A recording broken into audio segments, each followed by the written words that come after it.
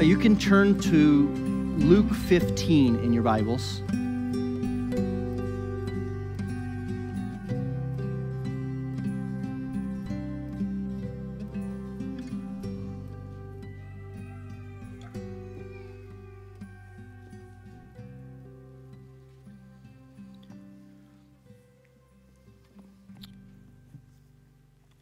I'm going to read right away this very famous parable. It's probably the most famous parable that Jesus taught.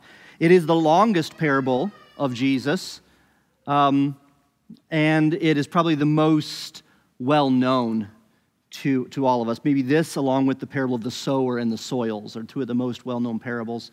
It's often called the parable of the prodigal son. It starts in verse 11 of Luke 15.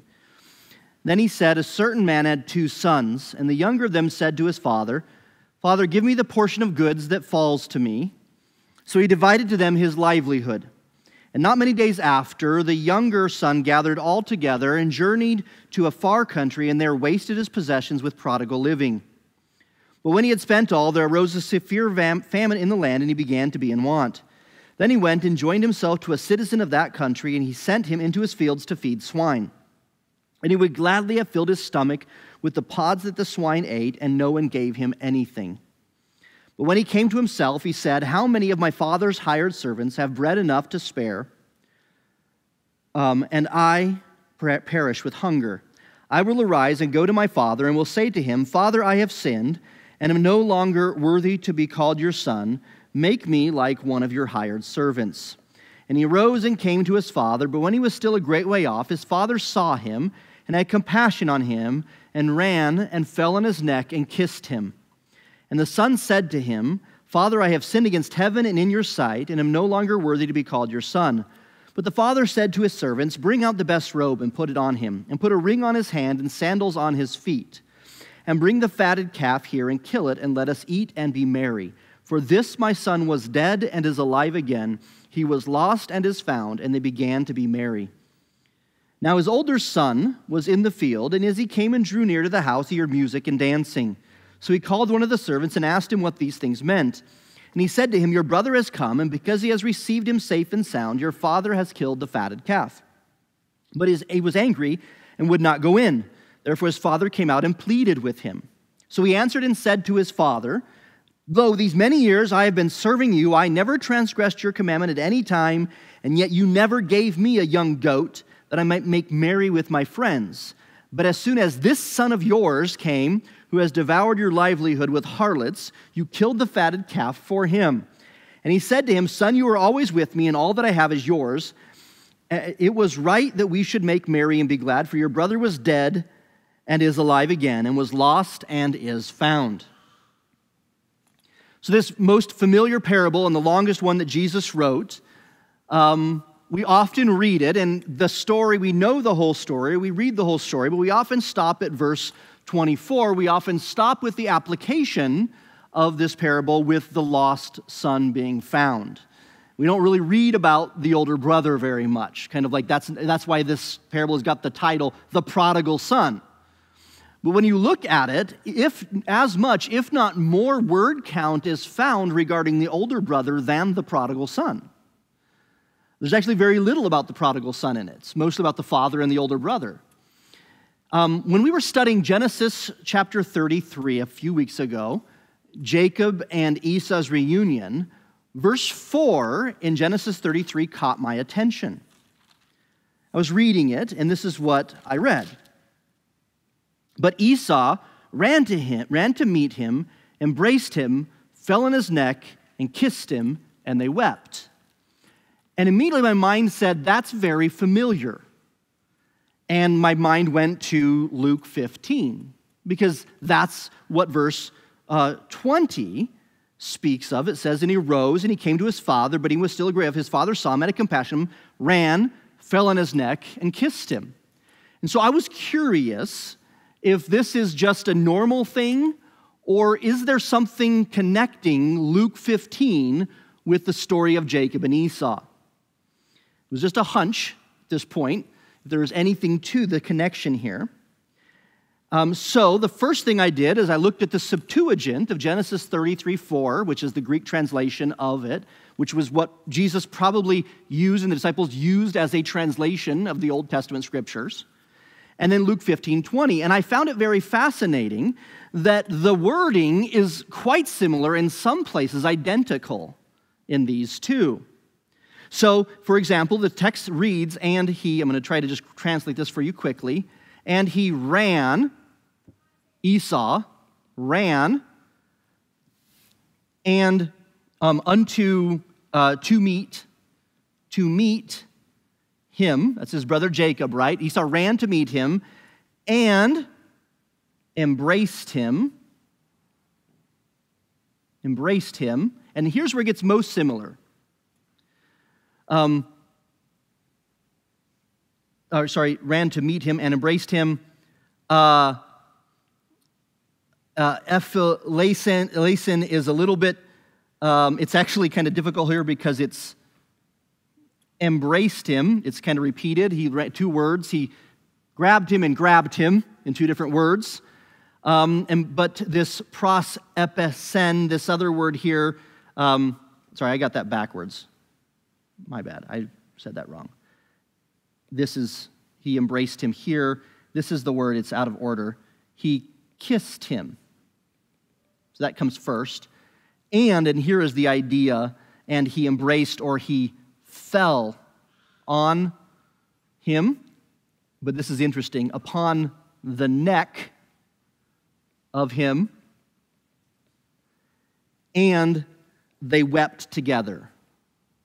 And wept together. So that's the, that's the Genesis 33 4, and I know you can't read any of my writing at all whatsoever, but you have the idea that that he, he ran, he kissed, fell upon the neck, and wept. Well, when you translate Luke 15 20, you get the first part of that, which I'm not going to do for time's sake.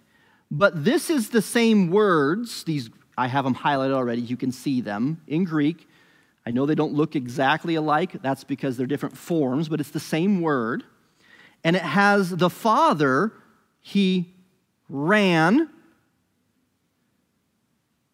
fell, and this is the exact same phrase, fell on, upon the neck of him and kissed him.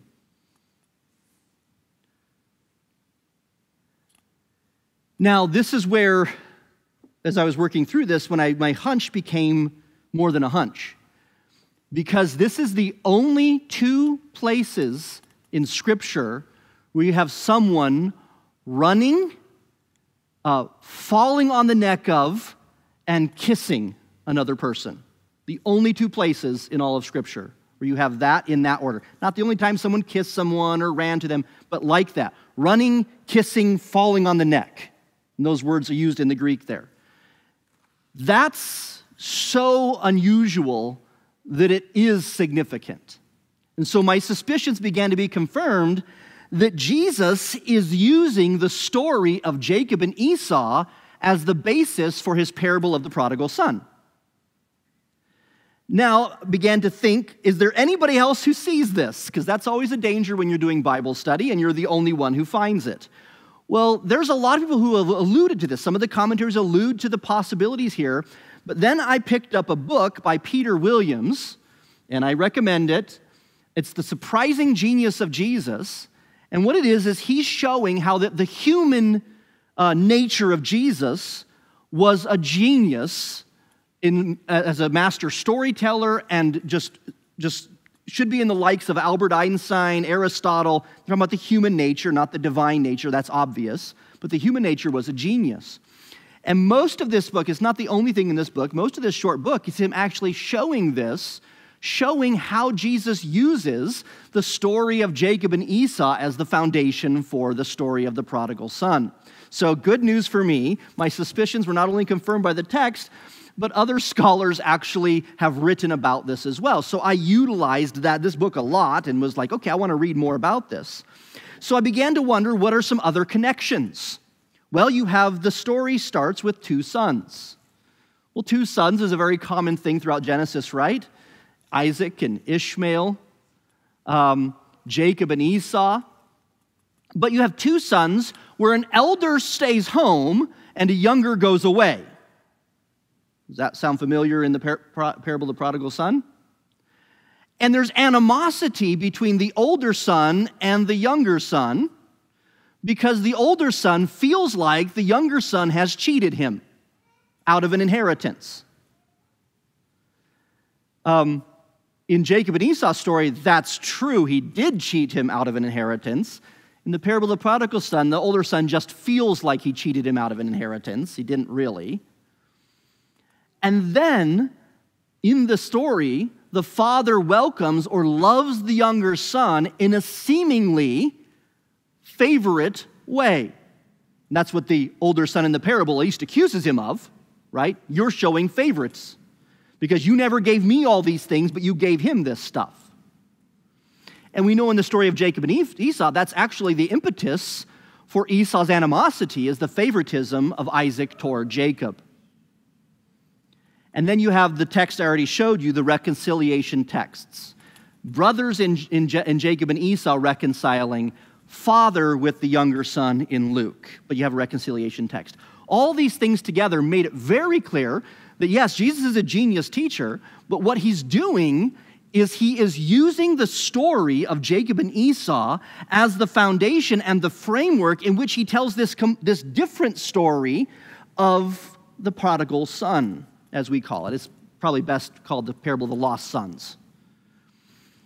Well, in working through um, Peter Williams, some of the things he wrote, he added several other things that I did not see, but he did, and he's a Hebrew and Greek um, linguist. He added this You have the younger brother herding animals in a far country. Uh, Jacob with Laban, and the younger son with the pigs. You have someone saying he's dying of hunger. The son is, I'm going to perish from hunger. Esau in the story, broader story, I'm going to die from hunger, right? You have the younger son wearing, uh, being the favorite, even wearing good robes. Um, the best, younger son wearing the best robes by the father in the prodigal, parable of the prodigal. And you have Jacob putting on Esau's robes to deceive him. So you have the robes connection, the clothing connection. The use of the word draw near is found in, in, in verse 15.1, the, the, which is a common connection. And you see Esau drawing near and Jacob drawing near. Um, the older brother being angry, it's in both of those accounts. Concerns about losing the inheritance. And then this is, I didn't know this at all, the young goat as a meal. So in the Jacob and Esau story, it's the goats, the goat that uh, Rebecca makes, right? It's a, it's a meal of goat, young goat. It's the fatted calf, right, that the father kills. But when the young, older son is upset, he says, I want a meal of young goat. And I didn't know this. Williams pointed this out. It's the only two places in the scripture where there's a meal of young goat. So it's obviously there's some connections there. Now, there are some contrasts as well. Jacob goes out poor and returns wealthy. The younger son goes out wealthy and returns poor. As I said, Jacob cooks the young goat to deceive the father. Well, the brother is upset that he never got a young goat cooked for him. Esau claims to be dying of hunger, but the younger son is dying of hunger. So there's some contrast as well. Isaac calls Jacob to come close because he cannot see him when he's being deceived. The father sees the younger son a great way off. Biblical Hebrew authors, like Jesus is, teachers, rabbis, often use parallelism and then they'll have reversals and irony. Most of the parables use irony. Most of the parables have a surprising twist in them somewhere, something that shouldn't be that way. And most of the parables leave the story untold at the end. It's actually a really smart, uh, a genius way to teach. It's kind of like playing a common tune and then not playing the last note. And everyone remembers that last note more than they would if you'd played it. Because they like they're, they're playing it in their head. That happens in this one, by the way. The story ends with the father, your son's, we don't have a rec- resolution. And that's intentional. So I think the evidence is overwhelming that Jesus is using the story of Jacob and Esau as the foundation of his parable about the two sons. Why does that matter? Because to have a proper interpretation and a thorough understanding of the meaning of the parable, we need to know what material Jesus was using and why he was using it. I contend that we won't come at the primary correct interpretation of the parable without understand, or we, we might accidentally come upon it. We won't uh, normally come upon the right interpretation without understanding the framework for it, the foundation of it. What is going on here?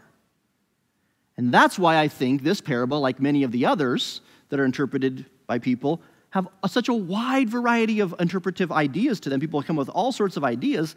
I don't think it's because they've really focused in on what was Jesus getting at? Why was he using the story of Jacob and Esau? Why that story? Why this particular time? Who's he talking to and why would he use this story to talk to them about it? Unless we settle those questions, we're going to be deficient in our interpretation. We're going to lack some things in understanding it.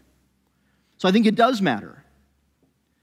Why does Jesus employ an Old Testament history, though? Why does he even tell a parable using an Old Testament story?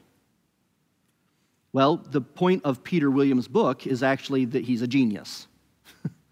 so the book doesn't just do this when it goes to all sorts of, that's the main one, but it spends a great deal of time in his book uh, showing other places where Jesus does this very thing. The point is that. So maybe that's one of the reasons why he does, because it's just effective stories are often rooted in historical realities.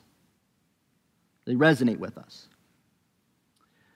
But the ultimate reason, I think, is not just Jesus because he's a genius, but this Jesus is drawing his audience into a moral tale and using um, the story of Jacob and Esau, which his audience would know very well, delivers a powerful punch at the audience at the end of the story. There's a powerful punch that he delivers to them. Who would understand the story of Jacob and Esau best? Well, Israelites would, right? By the way, the story of Jacob and Esau is one of the most commonly told Jewish stories um, by Jewish people today. The whole thing, from the deception to the reconciliation, it's the rabbis have write, write all sorts of things about it. But you know, above all the Jewish people who would understand it most would probably be the people whose job was to copy down these stories over and over and over again. And that is precisely who Jesus is addressing in this story. So look at chapter, Luke 15, 1. And you'll notice something very interesting here. It says, Then all the tax collectors and the sinners drew near to him to hear him. And the Pharisees and scribes complained. So we've got two groups of two sorts of people, right? On one hand, you have the uh, publicans or tax collectors and the sinners. Sinners generally meant outrageous or evident sinners. Sometimes people think those are referring to prostitutes and so on. Probably not just prostitutes, probably prostitutes and the Johns and the pimps and all that, you know, the whole world there. And then you have this on this side, and then you have, and they're drawing near to Jesus, they're coming toward him. And then you have the uh, Pharisees and the scribes who are complaining about those coming toward him. Because they say, This man receives sinners and eats with them. So he spoke this parable to them. So we have in the text exactly why he's telling this parable and who he's telling it to. The occasion for the telling of these, this parable is the complaint of the scribes and Pharisees against the sinners and the publicans drawing near to Jesus. That's the, that's the reason he tells the parable. That's why it's here. Does that already start to like put some like flags off in your head? We've got two sons in the parable, and we have two groups of two people. You got one who's complaining about the other coming near to Jesus, just like you had an older son complaining about a younger son who was coming near his father. So the target is unmistakable. But one might look at this and say, but that's not what he says right before the parable of the sons. That's what he says before a parable about sheep and a parable about coins.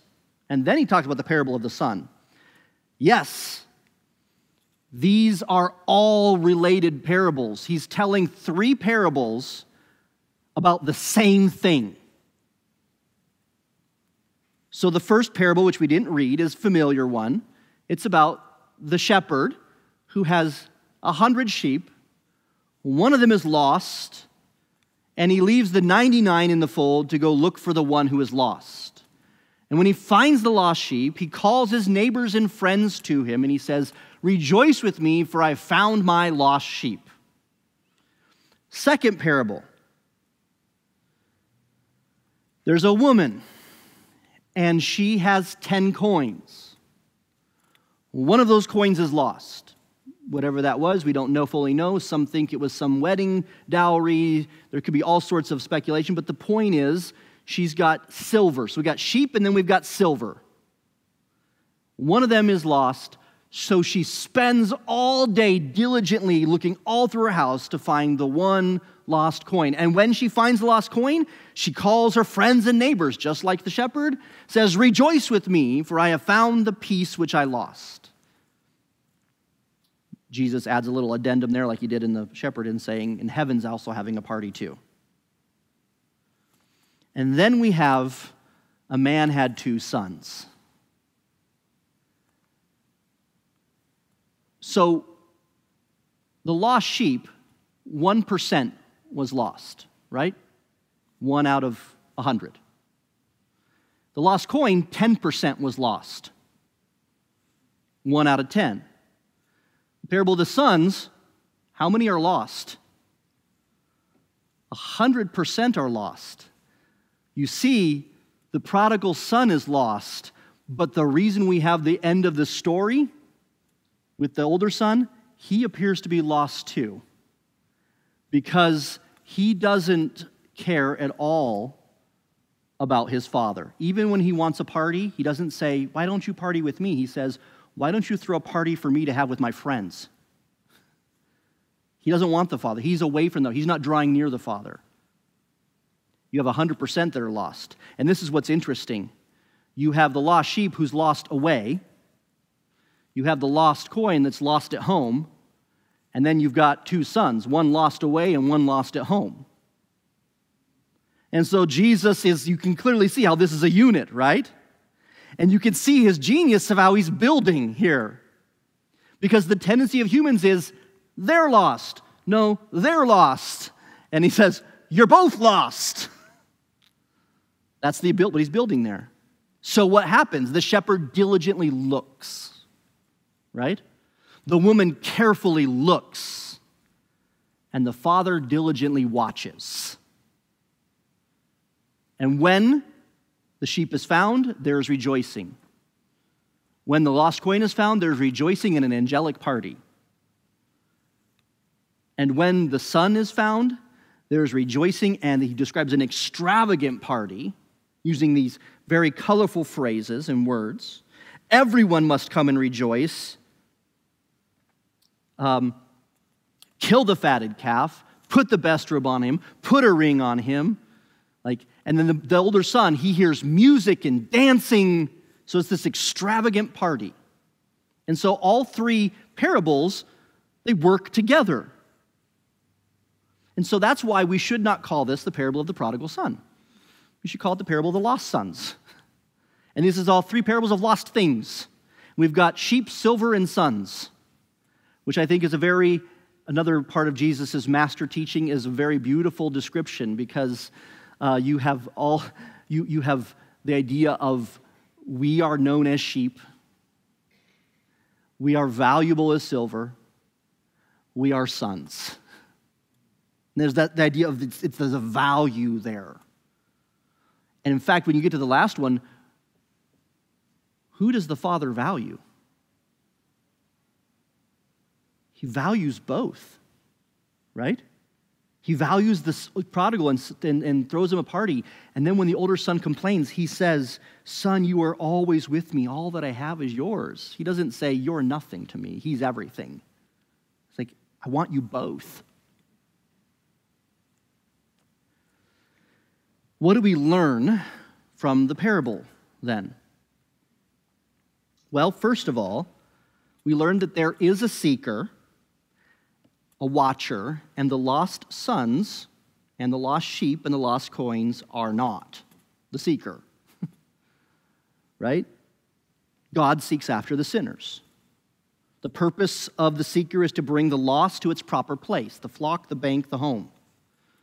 But the lost is mostly passive. We do have the prodigals coming to himself and coming to the Father. But there's some notes about that that I think we sometimes miss. Yes, the Son does come with humility, but did you notice he still comes with his own ideas and plan? Here's what I'll do I'll go back to my father's house because the servants have a lot. And here's what I'll say make me a servant rather than a son, and I'll work for it. He's still coming on his own terms, right? And so, yes, there is humility, and in a sense, there is confession, which is lauded and should be lauded here. But you notice how, in the text, of the way Jesus tells the story, and this is the masterful telling, do you notice what the son is able to say and what he's not able to say according to his plan? In verse 20, he arose, came to his father, but when he was still a great way off, his father saw him, had compassion on him, ran and fell on his neck and kissed him. And the son said to him, So here's the speech he's rehearsed Father, I have sinned against heaven and in your sight, and am no longer worthy to be called your son. But the father said to his servants, Bring out the best robe and put it on him. He didn't get to his plan, right? The father interrupts him before he even gets to, Make me one of your servants. Why? Because the Father's embrace of the Son is not based upon the Son's plan, but the Father's love. That's why. It doesn't matter what he says next. It doesn't matter that he's got a plan to work his way back into his Father's good graces. So I do think it's difficult, and we probably shouldn't look at the prodigal son as, an, as a line by line example of how we should respond to, um, to our sin. Yes, we ought to respond with humility and confession, but I don't think we ought to look at this as, well, this is what we should do. We come and say you'll be a servant, and then God will say, oh, well, that's, that's good of you. We'll see how you do as a servant before you graduate into sonship. Because that's not the way at all that God operates. So we have this, so, so even in the seeking, even in the movement of the Son, it's still incomplete. It's still not, it's not, it's not, it's not great, right? There's things missing in it, there's under, misunderstanding in it. It's, not, it's good, but not good enough. Furthermore, I think the prodigal does not seem to fully regret how he had sinned against his father love, but was driven to something outside of his control. Well, I'm not criticizing him. I think he's very normal. He's like you and me. Whenever you read about the story of the prodigal son, what we always point out is that he wasted his inheritance, right? And so we look at the prodigal son and we say, what a fool. But we miss a very important verse. Verse 14. But when he had spent all, there arose a severe famine in the land, and he began to be in want. He's, yes, he wastes his living, but what puts him over the edge is something outside of his control. What puts him in the pigsty is not his wasting, but he might say his dumb luck, right? There's a famine. Now, this too is a fantastic connection to Old Testament. Because the number one way in the Old Testament in which God routinely disciplined his people was by sending famine. Constantly, he did that. Don't you think Jesus knew that? And don't you think the scribes and Pharisees who'd written every word of Scripture down knew that famine meant God's discipline, God's judgment?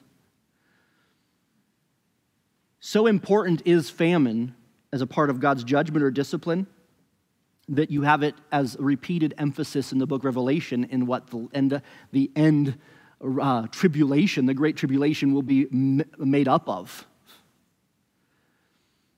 So you have his riotous living or his wasteful living coupled with God's scourge of famine, which sets him over the edge. This is speculation, but I wonder if he would have run back home without the famine. He's probably a bit of a smart young man. He probably could have found another way to make ends meet in this foreign country, but God would not let him. And so God sends a famine. Thank God for providential, timely famines. right? So Jesus is not explicitly portraying in this story salvation by grace alone.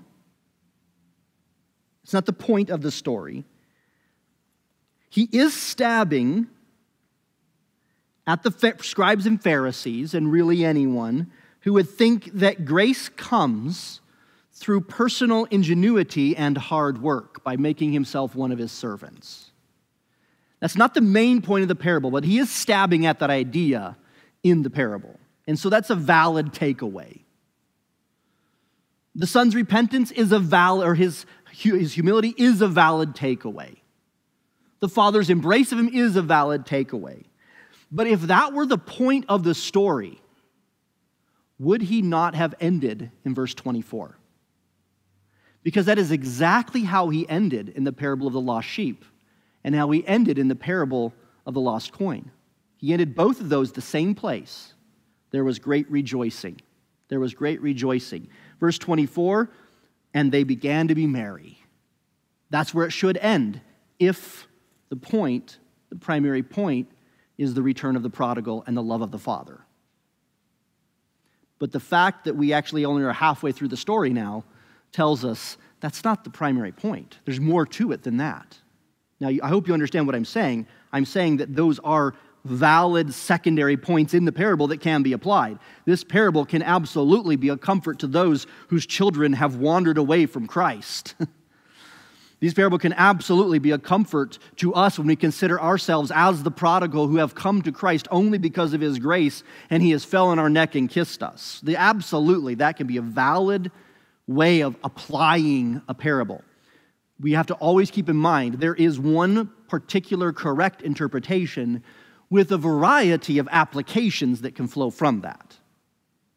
So I don't want to um, in one, in a sense, denigrate a beloved parable's applications that have held all of us at different times in, in, with, with hope, because it's true.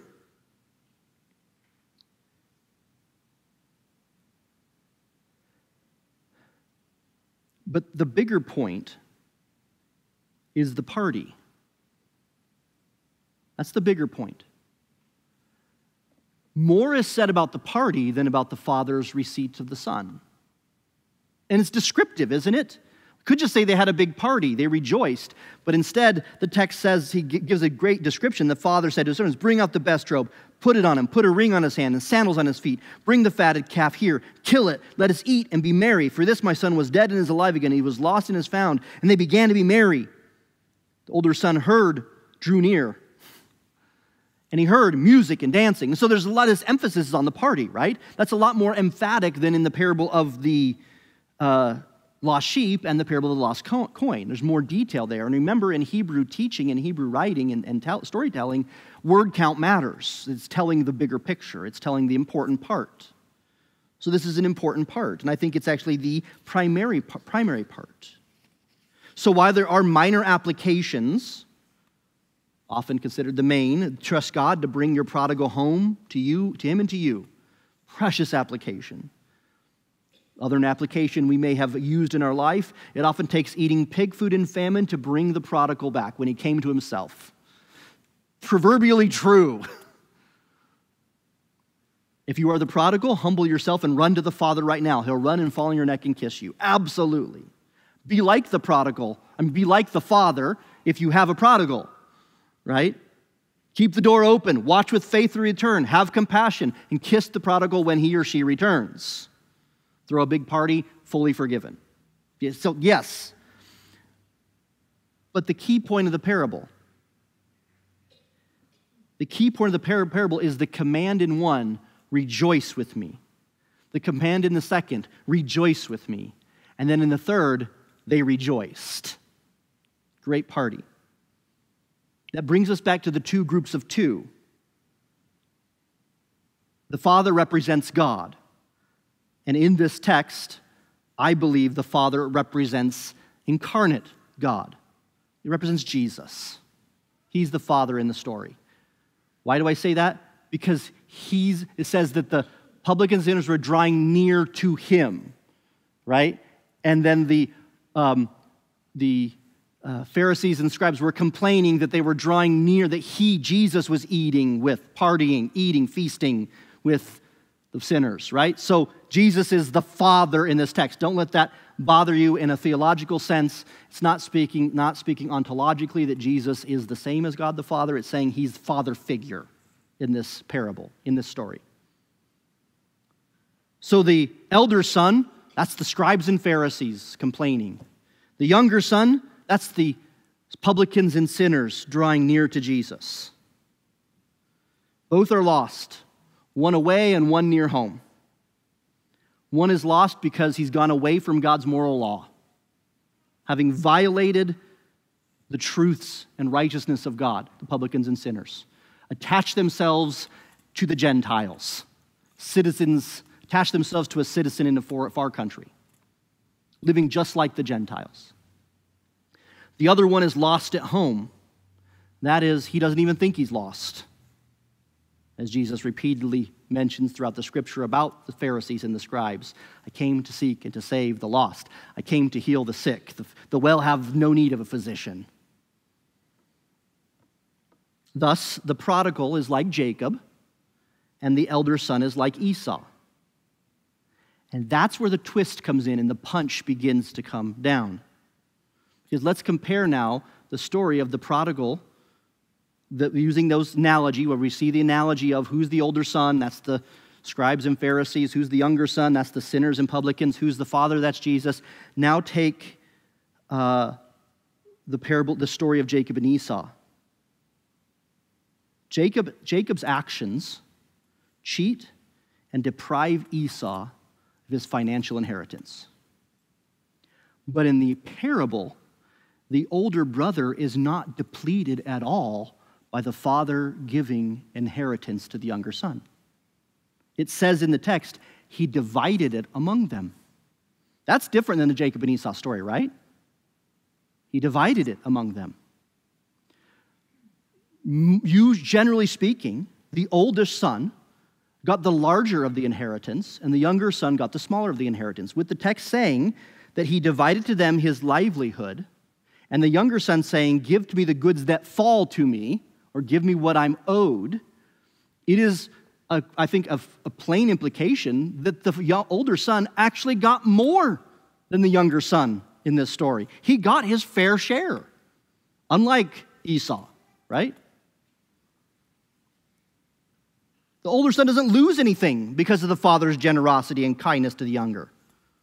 I mean, we understand why Esau was so upset. But why was the older brother so upset? The father even doubles down and says, he says in verse 31, All I have is yours. You have so much. Furthermore, the older son assumes he knows what the younger did with the money. He says, But as soon as, and he, notice he never calls him his brother, but as soon as this son of yours came, I mean, every parent has said at some point in their life, your son or your daughter to their spouse, um, who has devoured your livelihood. Wait, I thought the father divided it with harlots. How did he know that? He's assumed it, right? Why? Not, not enough has happened for me to have a conversation, even know his the brother was back. He just assumed this has happened. And maybe he was right. The text doesn't say explicitly. Maybe he was right. But you can definitely see that he assumes the worst. He hasn't really lost anything financially. then he accuses the father of not giving him a young goat so he can have a party with his friends.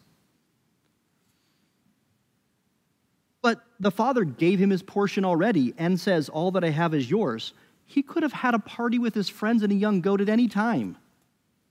So it has nothing to do, unlike the Jacob and Esau story, Esau is wronged. The older brother's not wronged. So why is he angry?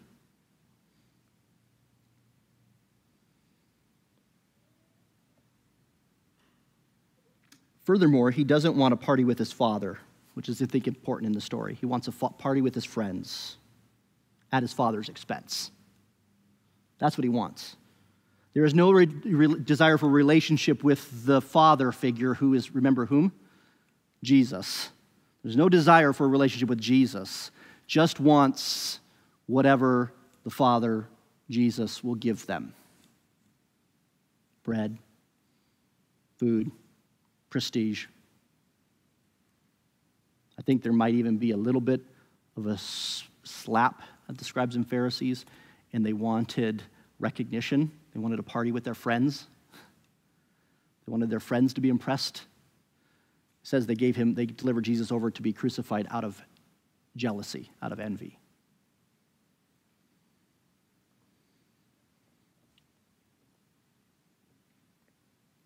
So he is angry and jealous, not because he has been wrong, but because his father has been good to his lost brother. That's why. The lost brother who didn't deserve grace and favor, who had sinned it all away, at least in the older brother's mindset. In other words, they're the problem. They're the reason the Romans are over us. They're the reasons why God's judgment's on us. Their sin is the reason. And if they get with the program, stop sinning away God's blessing, we could get back to having God bless our nation again. That's what the scribes and Pharisees thought about people. That was their motivation, their religious motivation. But here's the great reversal. Doesn't this sound more like Cain than Esau? here's the great reversal, though. Jesus, his punch, because now he pulls back from the Jacob as the Esau story. And this is where that comes in that I think is just most powerful. Esau does what the father does in the story. Esau runs to Jacob, falls on his neck, kisses him. Jesus, the father figure, runs to the prodigal, falls on his neck, kisses him. What sort of reputation did Esau have amongst the Israelites? He's called, the Bible, says, Paul says, as a Jew, describing the thing, Jacob I have loved, Esau I have hated, regarding God's view. Uh, the Jewish author in James calls Esau a profane person. So you see what Jesus is doing? No wonder they wanted to kill him. Esau was better than you. Esau could forgive his brother. Esau could rejoice to see the conversion of Jacob. You can't even bow yourself down low enough to be like the cursed Esau. Now, this is not the first time or only time that Jesus has said such things to the scribes and Pharisees, right? He's called them poisonous serpents, he's called them whitewashed tombs. He said, You're like the father, your father, the devil. So this isn't unusual, but I think we get a little idea why they crucified him, why they cried out, Crucify him, crucify him, his blood be upon us and our children. He's insulting them deeply. It's not an insult without intent, but it is strong, it is harsh, it is painful. He's saying that Esau was a better brother than they are to the people around them. There is no way that the scribes and Pharisees could have missed this. Given that the story of Jacob is, is one of the most written about stories, memorialized Jewish histories, the same words in the Septuagint that Jesus uses of the sons, the two sons, the feeding pigs, the Jacob's flight to a far country, the prodigal's flight to a far country, joining himself to a citizen, Jacob joining himself to Laban, feeding the fly. There's no way they could have missed this, the scribes especially. So, what's the moral here then? What is Jesus getting at? There's three morals, I believe, that he's getting at in this story. And it's not about the prodigal. Remember that the whole half the story is about the older son. Here's the and we know the point. He says he spoke this parable to him because the Pharisees and scribes were complaining. This is, this is why he told them this parable. This is what it's about. Moral number one if Esau could forgive his brother who had legitimately wronged him, when Jacob shows humble contrition, then the scribes and Pharisees ought to forgive the publicans and sinners who, in their coming to Jesus, are showing humble contrition. They ought, if Esau could forgive Jacob, who truly slighted him, then how could they not forgive the publicans and sinners who have not slighted them? Just like the older brother. There is, first of all, a call for brotherly reconciliation in the Father's house. That is the primary moral of the story. That's the point. Why we have that whole long section about the older brother at the end. the point is, the, and that the reason he tells the story, because there you've got two groups of two people, and one's drawing near and the other one's complaining. And he's like, You ought not be complaining. Stop complaining. Be like Esau, which you can't seem to do. Moral number two. Be like these all build on each other, they're all the point. The reason they're not able, able to even rise to the level of Esau, the reason why there is no brotherly reconciliation around Jesus in the Father's house, the reason that they are not able to rise to the level of Esau is because they are lost at home and refuse to see it. That's why. They could not rejoice with the returning brother because, spiritually speaking, the religious are just as lost as the obvious sinner. There is none righteous, no, not one. So, yes, there is a call for brotherly reconciliation, but brotherly reconciliation could not happen without a humble confession of their lost condition. Until they see themselves as equal to, or perhaps worse than, the publicans and sinners, then there is no hope for them to reconcile. There is no point in it. And moral number three thus they will never enjoy the scribes and Pharisees, the religious ones, will never enjoy the heavenly party. They'll never enjoy the heavenly party with Jesus until they repent and receive Jesus as the personification of the Father's love and embrace. They will not ever enjoy the kingdom of God until they enjoy Jesus' embrace. Now, doesn't he repeat that often throughout the Gospels? I am the way, the truth, and the life. No one comes to the Father except through me. The reason they reject coming to Jesus, the reason they won't come to Jesus and they reject those coming to Jesus, because they reject Jesus as coming from the Father. Because they refuse Jesus. So ultimately, this is a call for the older brother to receive Jesus Christ as Lord. So those three things go together.